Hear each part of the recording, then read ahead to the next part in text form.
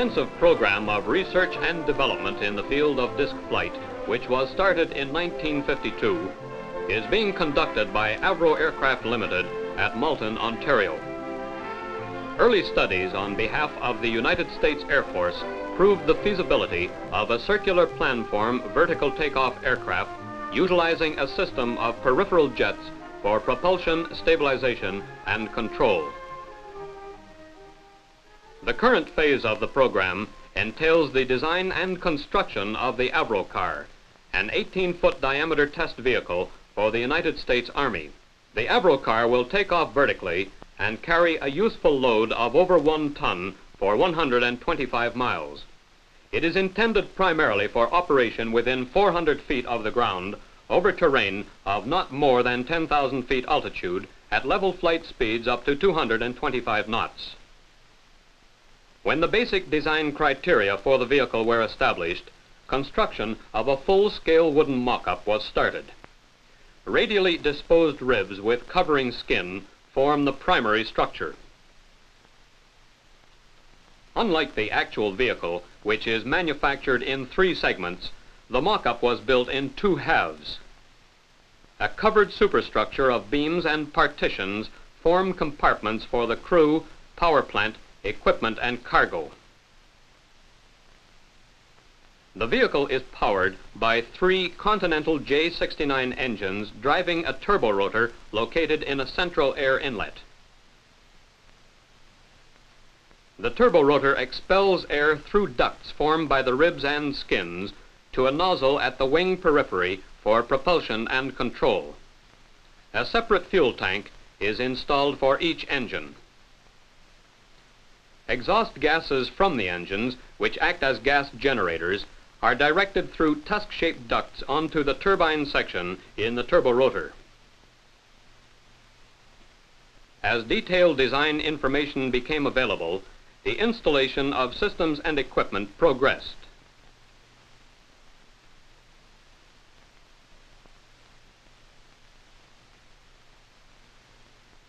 The completed mock-up provided a dimensionally accurate and fully representative model for evaluation prior to construction of the first Avrocar. During manufacture of the first vehicle, the mock-up continued to provide an invaluable check on the arrangement, location, and clearances for various installations.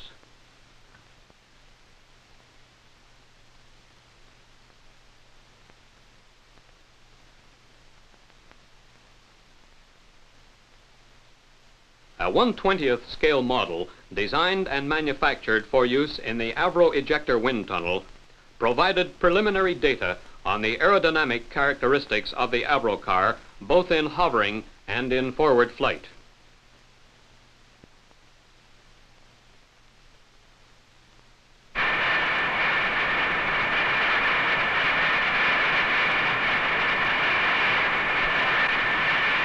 To provide more detailed aerodynamic data, a one-fifth scale model of the Avrocar was designed and constructed for testing in the Massey Memorial Wind Tunnel at Wright Air Development Center.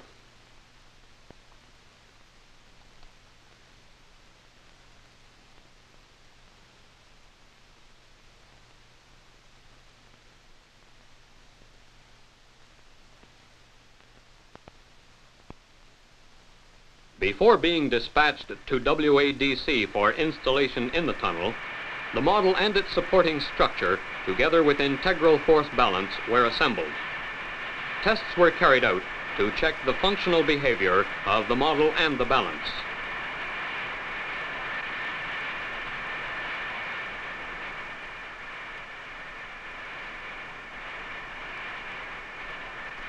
Wind tunnel tests including flow visualization tests, were performed to determine aerodynamic characteristics and pressure distribution during takeoff, hovering, transition, and forward flight. To investigate the unique system of propulsion and control to be used in the Avrocar, a full-scale 20-degree segment of the peripheral nozzle and outer portion of the wing was constructed.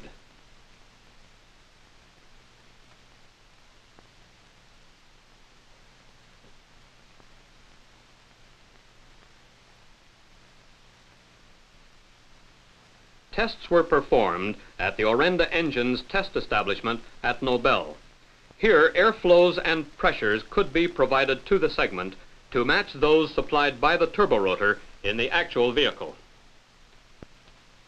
Two spoiler rings in the throat of the peripheral nozzle deflect the jet flow for pitch and roll control.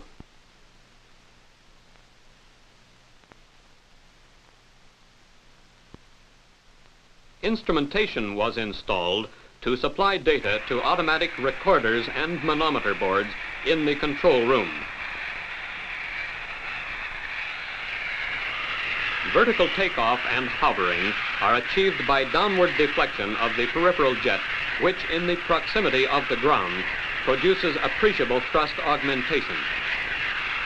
Transition from hovering to forward flight is achieved by rearward deflection of the jet.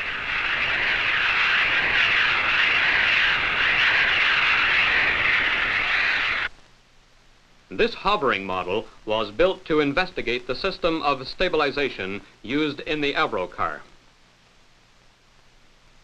An electrically driven gyro in the center of the model simulates the turbo rotor and operates gates controlling the emission of air at each tip of the cruciform. Because the center of gravity of the Avrocar is located approximately in the center of the circular planform, stabilization in pitch and roll is required. On the vehicle, the gyroscopic characteristic of the turborotor is used to sense the rate of imbalance in pitch and roll and introduce corrective bias into the flight control system.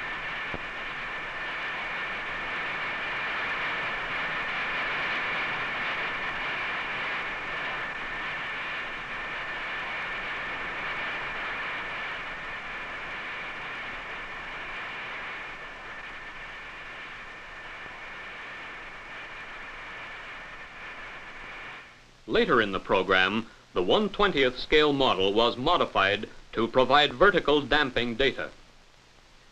This information, together with results from previous tests, was used in conjunction with a simulation study being performed on an electronic analog computer.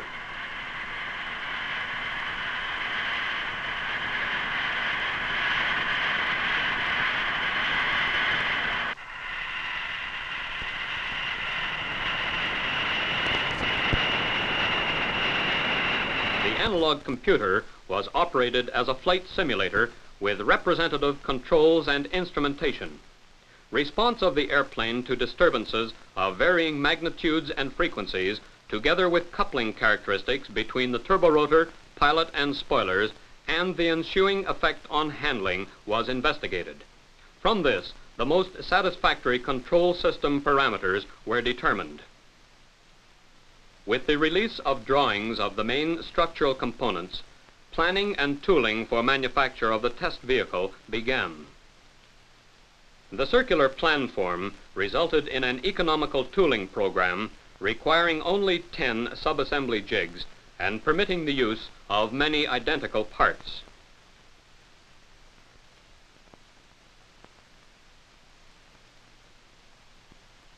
One final assembly jig is used for assembly of the main structural components.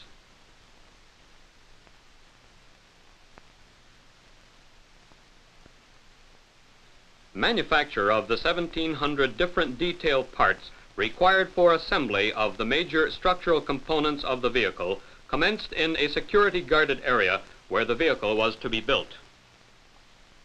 The basic structure of the Avrocar comprises a center base around which three identical wing segments are assembled to form the circular planform.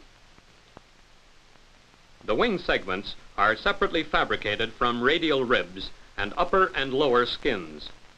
Ducts form between the ribs provide for the passage of air from the centrally located turborotor to the peripheral nozzle.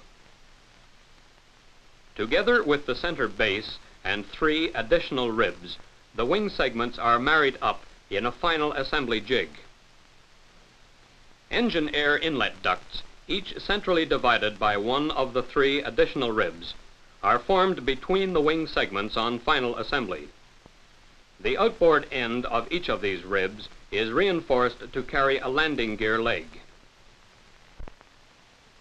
As assembly of the primary structure of the first vehicle neared completion, manufacture of detailed parts and major structural components for a second vehicle advanced rapidly.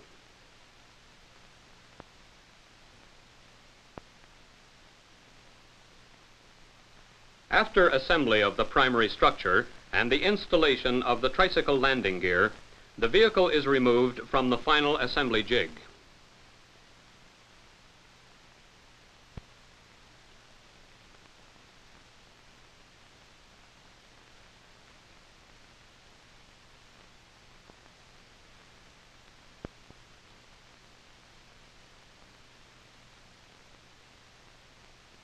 Three transverse beams enclose the turborotor, engines, and fuel tanks within a central triangular compartment. Each engine is installed in a separate bay, and fuel is supplied by three independent fuel systems.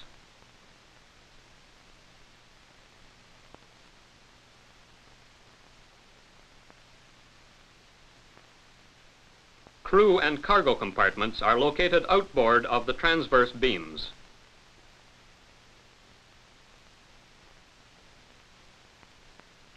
The turborotor, which is a turbine compressor combination, was developed by Orenda Engines Limited. To achieve a lightweight unit, hollow brazed steel compressor blades are used. In this pilot program, one blade was processed to prove the suitability of the copper brazing employed in manufacture. The two compressor blade segments, a root fitting and a tip fitting, are installed in a jig. Flux is then applied prior to installation in a bell for brazing.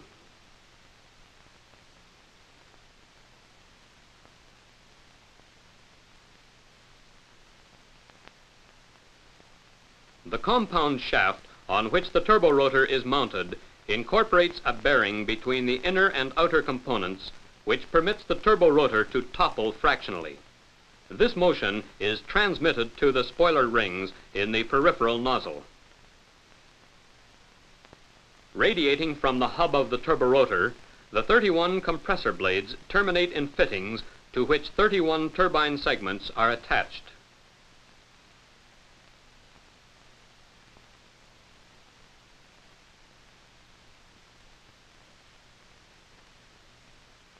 Each turbine segment incorporates four blades.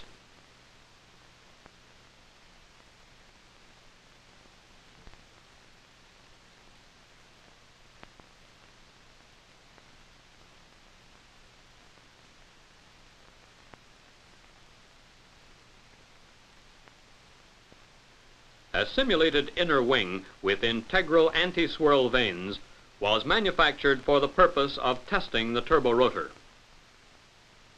The turbine nozzle ring and turborotor casing were introduced to simulate as closely as possible the conditions under which the turborotor would operate in the vehicle.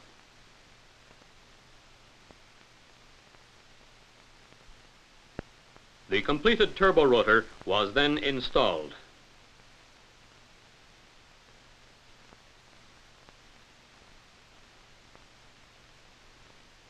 Finally, it was checked in readiness for the extensive ground test program. The entire assembly was mounted in the turborotor test rig, and the tusk-shaped exhaust ducts used in the vehicle were fitted. To simulate the power provided by the three Continental engines, part of the output from one Orenda turbojet was ducted to the test rig.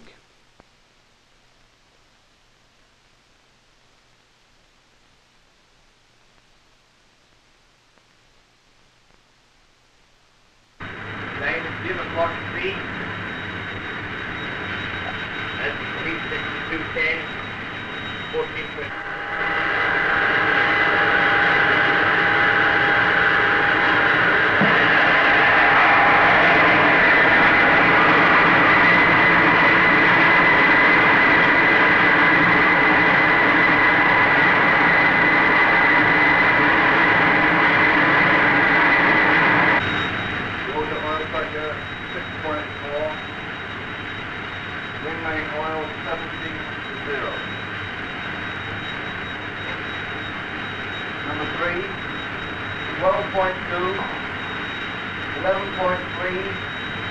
12.3.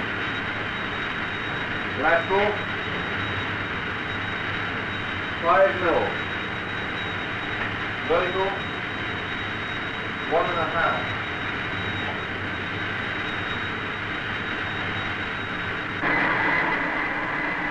and a half. One hundred and fifty hours of testing were accomplished satisfactorily on the first turbo rotor.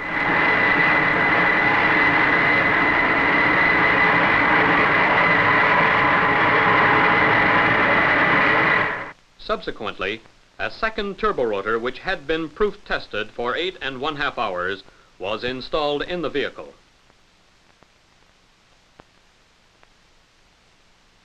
The turbo rotor casing with turbine nozzle ring was then positioned.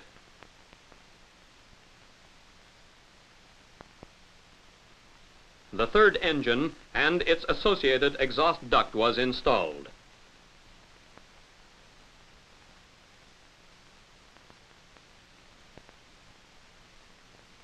Attachment of the turbo rotor air inlet fairing followed.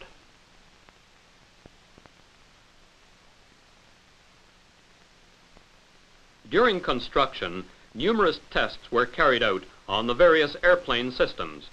Typical of these were control system checks. Installation of the inner wingtip permitted mechanical checking of the transition control rings. The rings are used to direct air during hovering and transitional flight. After attachment of the outer wingtip, a final check is made of operating clearances.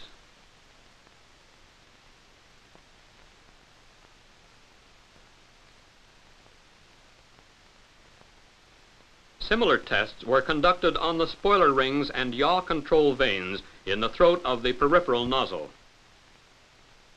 Fitting of canopies and hatches brought manufacture of the first Avrocar to completion.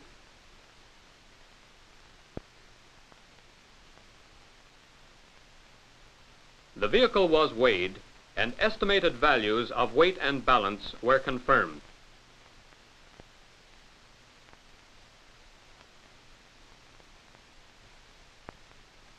After weighing, the Avrocar was moved from manufacturing into the test area. This marked the end of the first part of the contract, some two months ahead of schedule.